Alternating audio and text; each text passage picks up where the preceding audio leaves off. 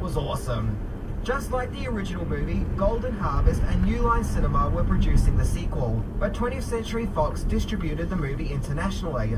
In fact, I can remember seeing the Teenage Mutant Ninja Turtles 2 trailer on the Home Alone VHS and getting hyped as hell about it.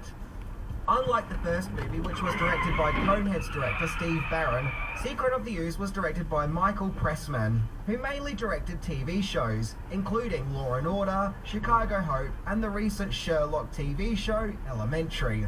I always felt that Secret of the Ooze feels more commercial than the original did. It doesn't feel as gritty as its predecessor, with the violence toned down